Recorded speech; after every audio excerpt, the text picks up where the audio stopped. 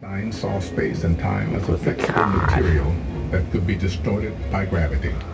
A black hole is merely a very deep well in this material.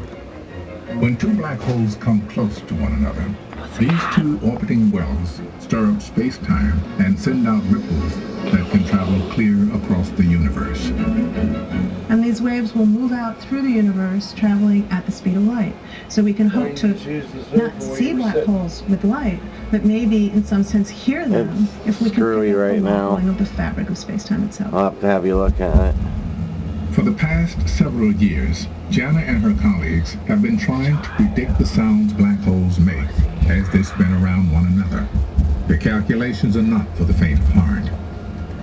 Modeling what happens when two giant objects create a Hey, storm in the sea of space-time takes some serious math and months of supercomputing. This is the orbit of a small black hole around a bigger black hole, and it's literally making a knocking sound on the drum, where the drum is space-time itself. Well, it really sounds like sounds like a, a knocking. It starts to get uh, a higher frequency and happen faster until it falls into the big black hole and goes down the throat, and then the two will ring out together and form one black hole at the end of the day. And it, it just sort of you know chirps up. Because black holes stir up the space and time around them so much, the orbit of one black hole around another looks nothing like the orbit of Earth around the Sun.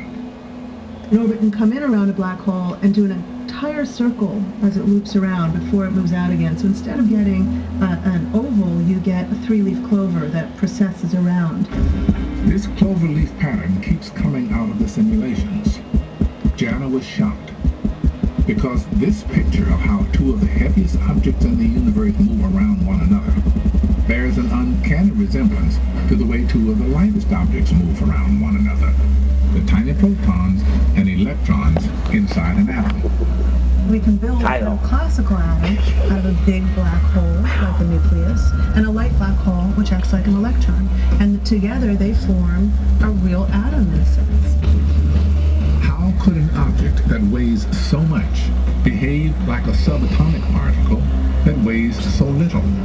When we talk about ordinary objects or people even, they are never exactly the same. I mean, you could try to clone me, and still the different copies of me would not be exactly the same. And in that sense, people and ordinary objects are not like fundamental particles. They're distinguishable. But the black hole is quite different from that. Black holes are like fundamental particles, and that's very surprising because they're huge macroscopic objects. Right now, this idea is only a tantalizing hunch just five years, supersensitive detectors should be able to pick up the ripples in space created by two massive black holes spinning around one another. And they'll tell us whether they really do